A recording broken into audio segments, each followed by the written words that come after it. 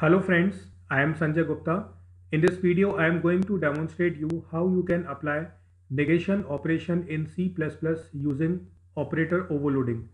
Before starting, you can note my information. You can connect with me by following these details. You can download my app TechImage that is available on Google Play. You can search my channel on YouTube by typing my name Sanjay Gupta on search bar. My channel will be available there. You can open it you can subscribe it if you want to follow my videos. Here various programming related videos and playlists are available. Now coming on to the topic. Here you can see I have included a header file iostream. Then a namespace std is used. Then class number is defined. Here an attribute n is declared. Then inside public section first function is read which will display enter a number message on console then the entered value will be stored inside variable n.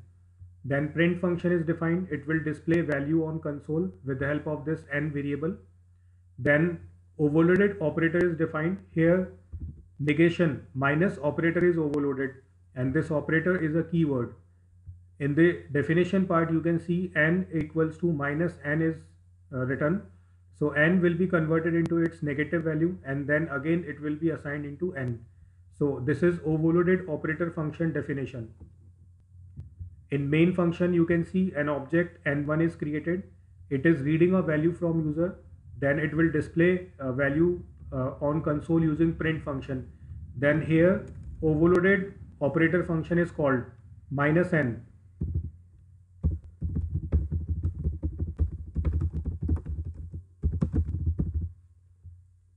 So n1 uh, is calling negation operation. So its attribute will be converted into negative value and then it will be displayed on console. So in short, you can say that it will convert a positive value into negative value. And this operation is known as negation operation.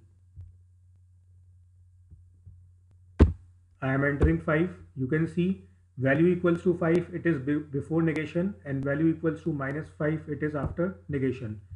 So I hope you have understood how we can convert positive value into negative uh, using operator overloading or you can say how we can apply negation operation using unary operator overloading.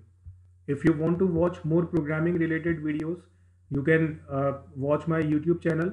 Here various programming uh, playlists are available. You can also subscribe this YouTube channel. Thank you for watching this video.